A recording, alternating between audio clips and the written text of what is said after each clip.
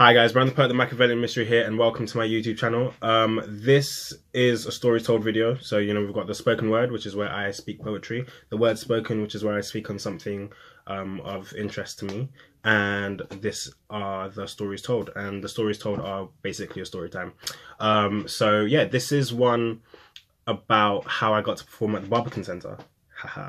I'm super super proud about it. Um, I'm still in shock that it actually happened, and this is basically the story of how exactly this came to be. Um, so it starts two ish weeks ago, I believe. Um, so my friend, um, shout out Manash, and then the ugliest gang. Um, so he is one of uh, one of the people I went to sixth form with, close friend of mine and he forwarded um, a snap story to me. Now, this was Stormzy's snap story where he was announcing um, that there was a call out for uh, the Merky Books performance. Um, so, if you don't know, Stormzy has a book out now um, about the Merky story. This is basically the story of himself and his team and how they've got to where they're going now. I haven't read the book yet. It's definitely one I'm going to pick up. But please, please, please, everyone support the movement. I'm going to leave like a link to um, Amazon or something down below.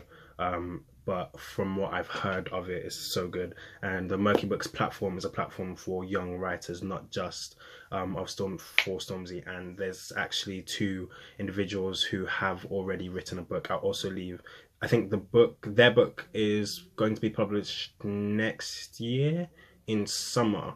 It should be uh, Chelsea and Ore, and so um, I'm going to leave the links on Amazon, whatever, there, so you can pre-order the book and everything. The concept and idea is something that I will go over another time, probably later on in this video.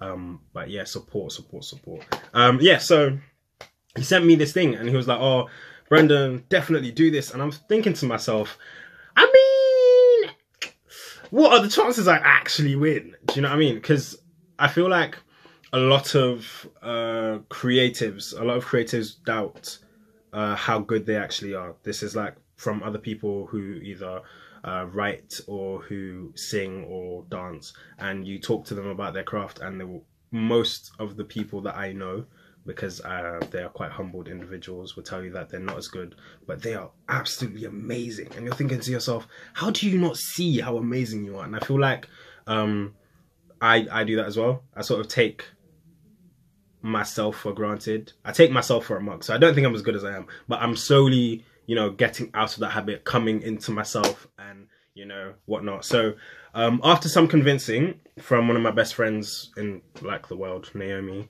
um, I got down to it. I, I this was around two, three in the morning. Um, I couldn't sleep, so I just started writing this poem, and um, I was thinking to myself, the the title or the theme is meant to be now hear this. And i'm thinking what what am i meant to write? Um, but i remember one day that i was working in summer i was making coffees and this sentence just came to me um, sighing an action taken to release the build of pressure and found in one's chest yet mine are still clogged full of the weight of choices i've had to make. And i was like okay let's start there. So i took something that i've written a while ago i brought it in and i was like okay cool let's do this. Right cool. So start uh, started um, typing on my phone because a lot of my poetry and stuff is on my phone, easy easily accessible, and I've got like a notebook as well. So anything and everything that is close to me at the time that I can write down, I do write down um, because you know, Lady Muse is is yeah, it's so random. It's so random where you can get your inspiration from. Um, so yeah, so I did this um, poem and I was like, okay, cool. Is it good enough? So I sent it to one of my friends, Tanya, and Tanya is one of those people who she she writes poetry as well um, she's an amazing poet, even if she doesn't necessarily see it herself, but she's an amazing poet. And so I'm I ask her for advice on like my poetry and stuff a lot of the time. So I didn't tell her what it was about. Um, I was just like, yo, could you read this poem? Um, it's for something. There's a deadline, but I would like because the lit- the deadline was literally the next day. Yeah, it was 11 p.m. on a Monday, and I was trying to do all of this on I think Sunday morning. Yeah, yeah, that was it. And so I was like, I need to, I need to make sure that this is right. And this is Sunday evening now because I've already written it. I'm trying to refine all the words and everything. And I'm like, I need you to da da da da da da. And she looked through it and she helped me out, placed some words, um, more emphasis on some of the um, uh, metaphors and similes and stuff that I used. And so I got it down and I was like, okay, cool. This is what I'm gonna do. Yes, blah, blah, blah. I was excited. Then um, I was like, okay, cool. So now I have to video it because it was a video that needed to be submitted um, so that they could see, I guess, the delivery of the poem or whatever. Um, and so I, I had lectures on Monday because this is Sunday evening. I still had work to do. So I was like, okay, cool. I'll do it tomorrow and then da da da da da. And so I had written down, um, no, yeah, so I'd written down um, what it is I wanted to do. It's still literally up there.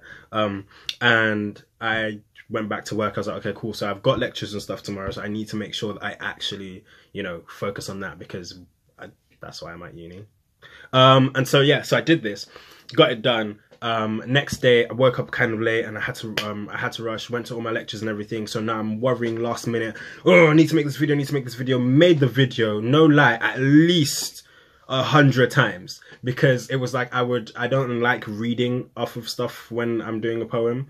Uh, I feel like it disrupts the flow, and um, it's yeah I don't I don't like it. I like reading, knowing my poem. So I was going over it, reading, reading, reading, reading. Like yeah, I've got this. Da, da, da, you know, um, finally did it, and it was like thirty to eleven, right? And I was like, jeez, like I it was so close. It was so close to not making the deadline. But I made the deadline and I thought to myself, you know what, even if I don't get this, I am so so happy. I'm so proud of myself for actually, you know, making the effort for writing this for for submitting because a lot of people that know me know that I can be quite kind of preemptive with things that involve my work. So for instance, this YouTube channel in the making, I made it last year.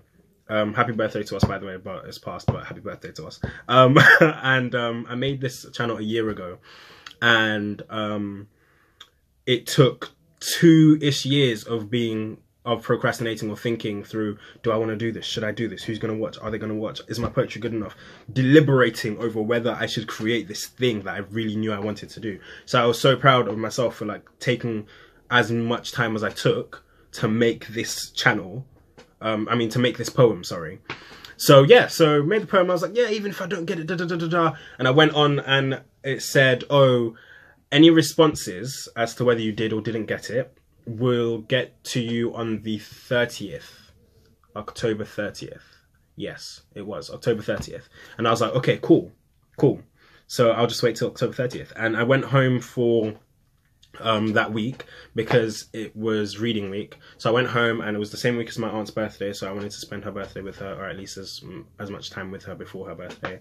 Um, and it was the 30th, and I was cleaning the kitchen, right? So you know, did my thing, sweeping and whatever, you know, being being all clean and stuff, you know, cleaning dishes and whatever. Um, yes, I'm, I was just cleaning and stuff, and um, uh, I get an email on the 31st. No, okay, yeah, yeah, yeah, yeah, no. On the 30th, I didn't get an email, so I was just thinking, oh, okay, so maybe like they, I wasn't shortlisted and I didn't get it, which is why I haven't got the email. No, like it's fine, you know. I, I was checking my emails all day on the 30th. I was like, oh, it's not here, oh, it's not here, oh, it's not here. And then on the 31st, I was in the kitchen cleaning, etc., etc. Resume from where I stopped. Um, and um, I get this email. And hold up, I'm gonna pull the email up because I feel as if the the excitement I had was so it was so like cool. So I was in the kitchen and I was I multitask a lot, especially when I'm cleaning. So I was watching anime at the same time because you know that's that's a normal thing that people do. Um, and so I got I got this email, so I looked up, went to the email, and it goes, uh, "Dear Brandon, we are delighted to let you know that you and your poem now hear this BranThePoet, the Makavelian Mystery, has been selected by Stormzy and hashtag Merky Books as the winning piece for the call out. Huge congratulations!"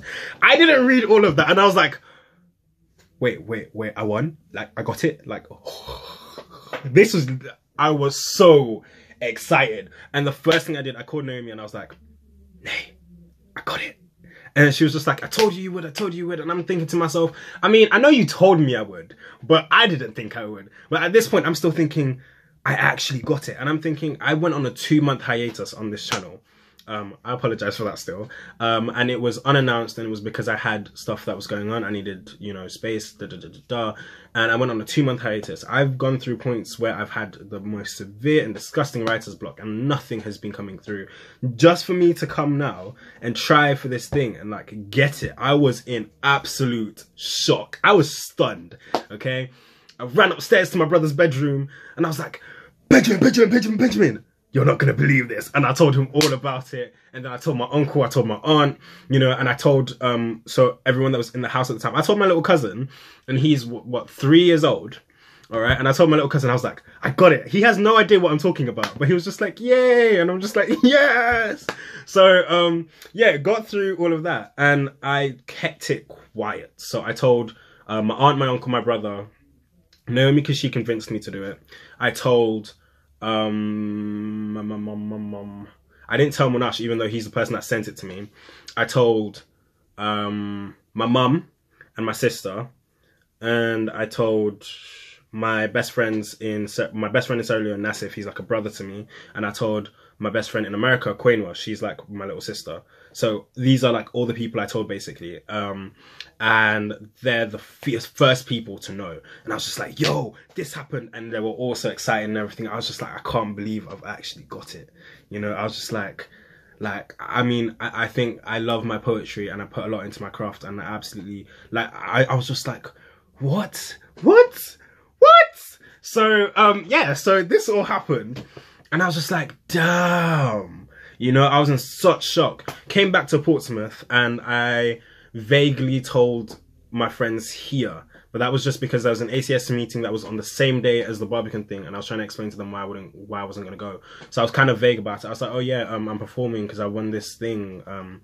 it's hosted by da da da da da, but you know, it is. I was like, it's not really like a big deal. They were like, okay, cool, cool, cool. But I don't think that they understood how important it was, which is what I was trying to make sure of because I didn't want many people knowing. And part of the reason why is because I have this theory, right? Things don't necessarily exist until they happen at times and so it's a thing of i was so ready for um for them to like email me back and be like oh sorry uh wrong brandon or something you know i was just so ready um to to have this taken away and so i didn't want to tell loads of people um and then for something to happen and then like i didn't get it if that makes any sense um anyway so a lot of email correspondences later um, I get my tickets and everything, uh, and I go to London, and I took Naomi with me. I say took Naomi with me. She like went with me, um, and part of the reason why is because like she was like the person that pushed me to do it the most, and she's like one of the people I'm closest to. Um, and yeah, so she's yeah, so I was just like, okay, cool, cool, cool, cool. I was just like, cool, cool, cool, cool, cool, cool. I was like so nervous, so nervous about the whole thing. I was just like, okay, okay, all right, okay yeah, okay, we've got this, okay. Okay, I, I was mumbling the poem over and over and I changed bits and pieces of it and so I didn't know the poem as well as I did when I made the video and I was thinking to myself, what if I forget it? What if it's not good enough? Da, da, da, da, da. What if we get there and they tell us to turn back because it's not actually like like it wasn't me. I had so a hundred thousands of thoughts like running through my head. Um, family messaging me on the day, my little brother making sure he was like, oh yeah, get Stormzy to sign something for me. I was like, no, no, you have me. I'll send you a picture of me and Stormzy together. Yeah, show your friends because I'm cool. Um, and and my aunt, my aunt was like, tell Stormzy that I know his aunt, and I'm like, no. Um, so there was like so so much going on, but everybody sort of believed in me and stood with me like through it. Everybody that I told that is, um, yeah and and and and it was it was such an experience. I got there and all of the people from penguins live and apples and snakes shout out to both of them and the merky books team because they are the reason why i got this in the first place because apples and snakes sources the poets of which i am one. Um, and i got to meet all of these amazing people. Um, lisa and toby they helped like calm my nerves because lord knows i was feeling all types of things. Um, and there was also caleb femi and bridget minamore brilliant, brilliant poets. They went up before me, and I was listening to their poems, and I was just thinking, mine's not going to be half as good. um, I, I, was still having this sort of inferiority thing because this was just such a massive thing, and I felt like I was so out of my depth. But there was just such beautiful, beautiful energy. Um, I met Benjamin Zephaniah. He's such a cool guy. He's oh my god, he's he's so funny. Oh fam, like I met Benjamin Zephaniah. I met um, Malorie Blackman. I met Akala um, I met um, um, um, um, Jude, who wrote um, uh, a lot of like the merky books and like edited and stuff. I met Um, um, oh, there's so many names in my head. I met Stormzy. Like, wow, how am I leaving that out? I, I met Stormzy. I met Stormzy. I met Stormzy. I met Akala. I met Bridget Minamore. I met um, Benjamin Zephaniah. Um, I met Malorie Blackman. I met Caleb Femi. Um, and and there was like this whole team. I, I was backstage, and it was just like it was overwhelming. You know, there were these amazing, amazing people who had done amazing, amazing things, and then there was me, and I felt like what have I really done besides like win this thing, right? I, I, felt like I didn't deserve to be there as much as everybody else because every I felt as if everybody else had like worked so much more for this um, to be there at this event, um, and it was my turn to step on that stage. Um, and I had one thing that I hated. I had my poem in my hands because they made sure to print it out for me just in case I didn't know all of it. And so I had this poem in my hand and I started flowing and there were there were stops and I looked out and I read on and I wasn't reading completely off because obviously I knew a lot of the poem. I've, I'd been mumbling it since I woke up. Like the, the poem was a part of me. It was just the nerves. I was shaking so much. My leg, I had to like move my leg about because my leg was like doing a nervous twitch. Oh God. Um, but it was, it was so amazing. I stood up in front of there about 2,000 people and I, I spoke my word, you know, and it was, oh my God, I felt it was, oh, it was home. I, I, I, I knew like, like I don't know if anybody knows this feeling, but you know, like when you're just doing, you, you're just doing what you know you're meant to be doing. I was just there and, and I was just like, wow. And I ended my poem and I went, uh, simply a poet blessings. Thank you. And everybody clapped and I was like, oh, they're clapping for me, you know. Fuck, I was so gassed. and and I, I, finished the poem and I, like all the nerves sort of like settled down, but the shock didn't. And there was all, all of these important people, you know. And then I watched Akala and Stormzy speak. We did the rest of the event. I got a picture with Stormzy. I got a picture with Akala, um, Malorie Blackman, and um, and Benjamin Zephaniah had left by the time I went back backstage because I went front, I went to the crowd because I wanted to see um, the speech and you couldn't like hear. I wanted to see Akala and Stormzy talking. You couldn't hear it properly at the back. Um, so yeah, and I was just like, wow, like this, this is a thing that's happened. After all, you know, I had to come back to Portsmouth and I was walking out of the building and these two, and I saw people like turn and look and whisper and I was like, oh, maybe I'm just imagining it. And these two ladies stopped me and they went, your poem was amazing, by the way. And then it was like, this was the one that, that had the thing on mental health, wasn't it? And I was like, yeah. And she was like, oh, you, it was so good. Da, da, da, da, da. And then I walked out into like the foyer of um, out through the foyer of, of the Barbican Centre, and these school kids were on a they they were on a trip, so they were all in like their uniform and everything, and they saw me, and some of them started clapping, were like, "Oh, you did really well," and I was so. I was so flabbergasted. I was so shocked. I was so out of my own senses, right? That this was like something that was happening to me that I couldn't even look at them. I was just like, And then I looked at him and I was like, they're clapping for me. And, and then we walked out and I was just like, bro, this experience, fam. it, it, it awoke something in me. And I was just like, you know what? I have, I have had a taste of what I believe is my place, what I am meant to be doing in this world. You know, this is my purpose this this poetry, this writing, this delivering, this this speaking. This is what this is what God made me for, you know? And I was just so excited. And I was like, everything everything needs to change. Everything needs to. I was like, okay, I've been thinking for a long time, um, for those that do or don't know, I've been thinking for a long time about um my content and how my content needs to change and the way that I'm producing and da da da da da. Um and I think this was the right kick that I needed to really set things into motion. Because, like I said before, I procrastinate about stuff a lot. Because if I'm unsure, it reflects in how I go about things. Um, and this this was really the kick up the backside that I needed to like get myself into gear and say, you know what, I'm going to do this thing. I'm going to do it properly. All right, and I, it's yeah, it's, it's going to be brilliant. I mean, I'm I'm looking at the moment for any videographers and photographers, um, producers, etc. that are in Portsmouth. Please, um, just hit me up in the comment section, and uh, I'll leave my email as well in the in the description so that you can get at me. Um but yeah no everything everything needs to get better. And i was walking from uh Farringdon station and there were these two guys that stopped me and they were like because i walked past them um and i was trying to use google maps so i wasn't exactly sure where i was. So i just like walked past them and i was like no wait the bus stop is that way. So i turned around and i saw them that they were talking and i heard one of them say is he the and um, so I was walking and this guy stops me and he's like, yo, you're the guy that performed, da, da, you're Brandon Turner. And I was like, oh yeah. And we stood there and we had this whole conversation and one of them was saying to me how, you know, he teaches poetry and so he knows that what I said and the way that I said it, that it wasn't intentional and he was just so proud. And even though, cause I said, I mentioned, I said, before tonight, I hadn't put, I, my biggest audience had been about 50 people. And at that center, it was 2000. I was just like, whoa. it was just like, whoa.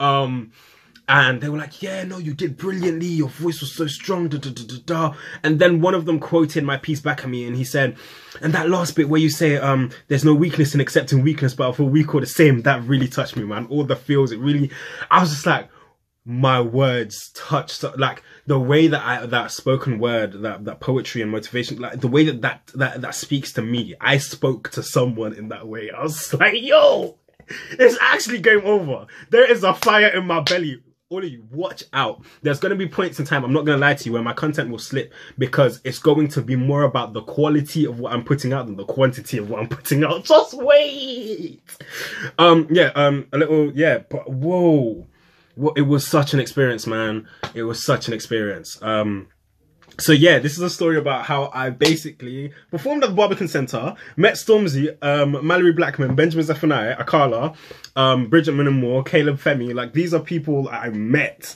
you know, like I spoke to them, had conversation, like we shook hands and everything. I'm like, yo, bro, my price went up. But you man can't chat to me no more. Oh man, I'm no, I'm so ecstatic. Um, thank you, thank you, thank you, thank you to everybody who has been supporting me to this point. Thank you to everybody who keeps supporting me.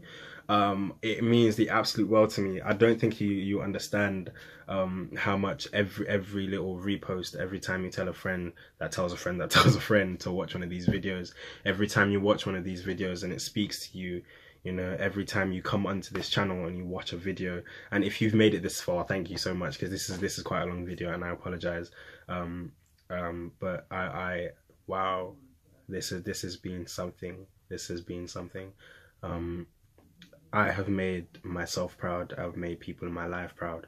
Um the quality of the content is going to be going up. Quantity is going to go up as well. Um i think i'm going to do a lot more of these. I'm going to i haven't done um a word spoken in a while and I will do one on the hate you give because I've seen it once but I want to see it again. So when I really like bring it forward to you guys it, it's with all the knowledge I can and all the feels that I can.